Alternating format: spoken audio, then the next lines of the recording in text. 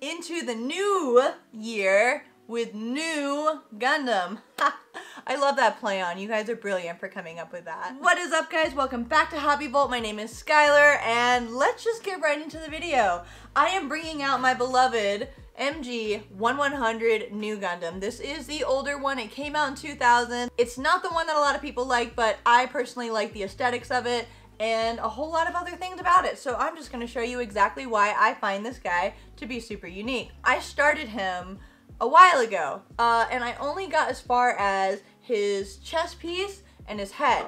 Now, I would show you, I would show you his head put together, but as I was getting ready to film, and I was gonna put his head on, right here, see those little white joints right there? They were holding a PC joint, and as I went to put the head actually on the body here, it, they broke. They, they went they broke or they broke the other way they broke completely back the other way and they are currently sitting with what i believe is the holy grail for fixing all gundam pieces uh, Tamiya cement. So I have a couple videos on that if you want to see it, but I need to remake a video on how to fix parts. But 95.8% of most of your broken pieces on Gundams can be fixed, or model kits can be fixed with uh, Tamiya cement. But yeah, that's why the head is not put together. It's because right there, it literally, it just said, nope, I am out. So, number one, this kit is 20 years old. literally 20 years old, about to be 21 years old. So, its plastic is very brittle, very fragile, and I am anticipating a lot of repair work on it as I continue building it for this series. But enough about the bad parts. First of all, let's compare it to what the MG Ver Ka is. For this kit, there is this MG 1100. There's several other iterations of it, but the main ones are this guy, the MG Ver Ka that came out, I believe, in 2007. Of course, I have an SD version of it as well. And then, of course, there's the RG that recently came out with the full expansion kit and everything. Have not built that one yet, so I might pick that one up. If you guys want to see that one or whatever, let me know. Now, let's show the comparison between this MG and the Ver Ka MG. Now, it may not seem like a whole lot. No, hold on let me correct myself. It does seem like a whole lot because the MG Ver Ka is highly detailed. It's just, it looks like an overall better kit. But I think the funnels look better on mine and I kind of like how it looks more clean and more realistic to the actual anime. So I like contrast, I like smooth lines, so I like this one. But she's gonna be a pain in the butt to build. First of all, let's talk about how awesome this box art is. It's literally so cool right here on the side. There's something about these years of kits that I just really like. The way that they actually did the box art, the way that they put everything on the side. I, I just, I love this year. I love like 2000s to like 2008. Like, I love everything that they did in that year. I'm, that is a hot take and I'm sure someone's gonna be like, what's wrong with you? But I happen to like them. Not only is the box art really cool, but I'm a fan of how the manuals look for these years too. They have way more artwork in them. They have a lot different way of showing you exactly how to put the pieces together. A little bit more straightforward, even though they're just as complex as today's kit. And I don't know, there's just something I like about these years, this aesthetic, these kits. I think they're all really cool. But let me show you the coolest part, the part that I'm excited for.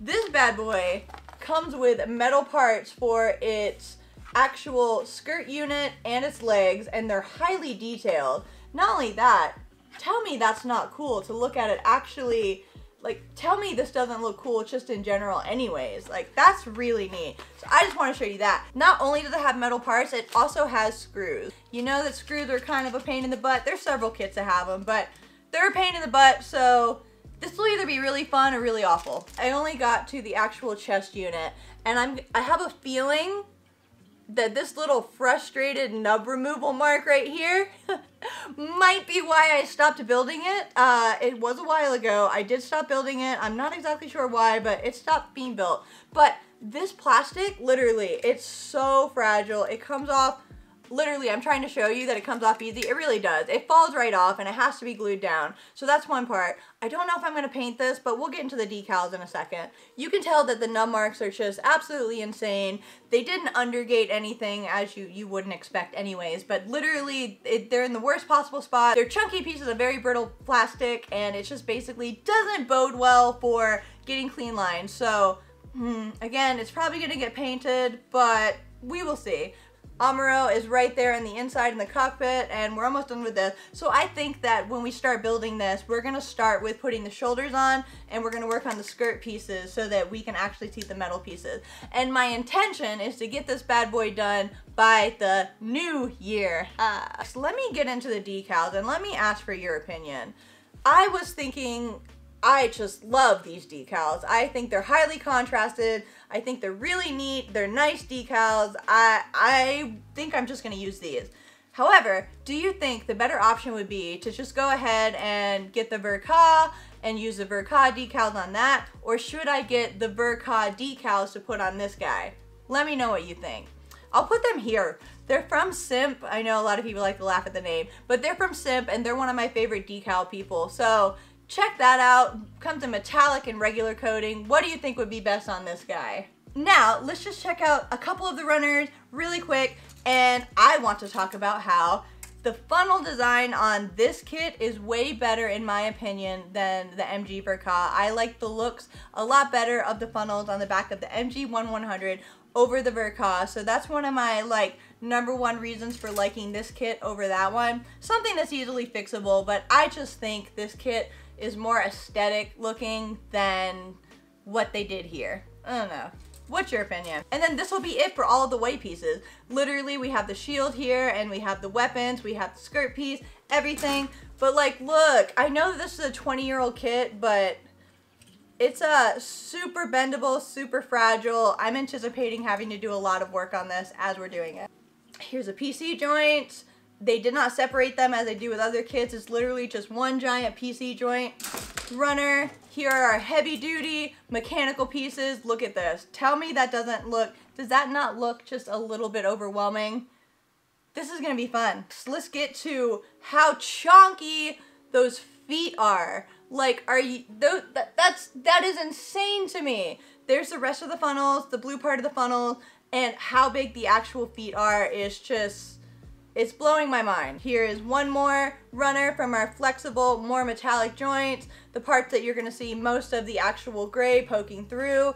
This is what these are. Here is our A runner with our beam saber and our multiple injection molds and everything super cool. I really like the colors on this. Sometimes the yellows are a little bit too yellow and I kind of like this yellow a lot more, particularly on these older kits. Just some other pieces that I've already obviously been working on already, just more mechanical pieces and more of the blue pieces that was definitely for the chest unit. So we have more of the chest unit and the skirt and everything. So yeah, that is it. That is all the runners. That is everything that we have. Seems a little overwhelming. If you guys are not familiar with MGs, uh, I love them. They're awesome. They're way more detailed. They have a lot more gimmicks to them than an HG, anything like that. I am a fan of the older kits that are technically 1 100s. They're technically like I mean, they're master grades, but I am a fan of the RE1100 line. I am a fan of the 1100s, the MGs, just MGs, uh, they are my favorite. I think they look the best. And that's pretty much it. I'm very excited to be working on this. I anticipate having to do a lot of repair work, which might give us a couple of opportunities for learning stuff, which would be really cool. I'm to be remaking like my fixing part cement video, things that are a lot easier for people who may be auditory, visual learners, whatever. I'm gonna try and work on them. I'm gonna find the best possible recipe I can and I'm gonna, I'm gonna, I'm gonna help. I'm gonna help. Thank you as always for watching guys. I will see you guys tomorrow. Bye!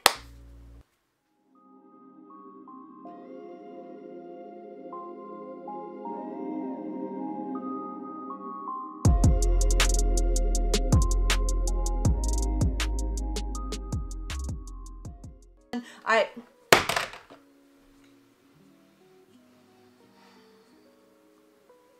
danger zone. I swear, I swear.